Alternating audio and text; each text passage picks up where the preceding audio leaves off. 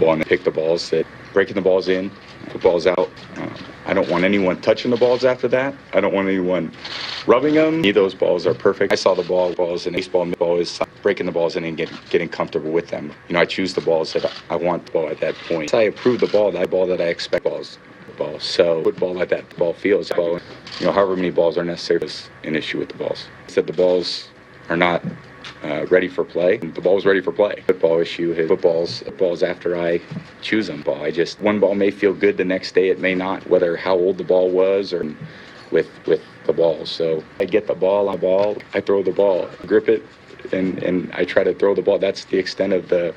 Uh, you know, me touch. I don't sit there and you know try to squeeze it and determine that. I guess it's a challenging thing. I'm not squeezing the balls. I'm not. You know, I don't um, I feel the tack on the ball, ball light ball. I think 13 pound ball or 11 pound ball the other night. So narrow balls, uh, breaking the balls in, have the balls in play. You know, everybody has a preference. Some guys like them round, and some guys like them thin. Some guys like them uh, tacky. Some guys like them brand new. Some guys like old balls. I mean, they're all different. So you got to feel them. And you, between the time that I touched it, you know, really till Monday morning, I had no idea what happened with the balls. So balls, and you know, if we like a ball, how I like the balls, and I tell them how great they are before the game.